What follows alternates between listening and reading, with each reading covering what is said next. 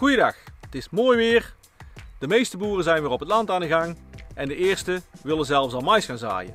Ik ben Ron Vennix, teeltspecialist ruwvoer bij For Farmers en ik vertel u waarom je daar nog beter even mee kunt wachten.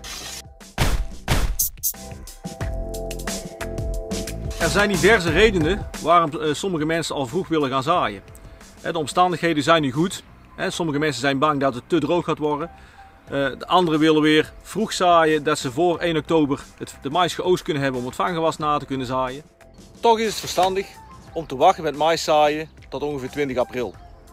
Mais is een tropisch gewas en heeft warmte nodig. En mais kiemt met een bodemtemperatuur tussen de 8 en 10 graden. Maar als die bodemtemperatuur wat hoger is, dan kiemt hij nog makkelijker en groeit hij beter door. Waardoor hij eerder sterker is om zich ook te kunnen wapenen tegen andere vijanden zoals onder andere ritnaalden. Tot 1 mei is er nog echt wel kans op nachtvorst. Een nachtvorst is funest voor een kiemplantje. Hij krijgt het dan heel moeilijk. En vaak zie je dan dat die kiem in plaats van naar boven als een onderzeeër naar beneden gaat om daar meer de warmte op te zoeken. Ook vorig jaar zagen we veel schade door ritnaalden.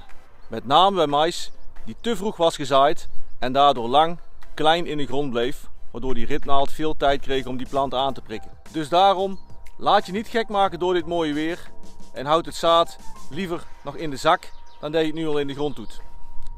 Dit was mijn tip voor deze week. Graag tot de volgende keer. Houdoe!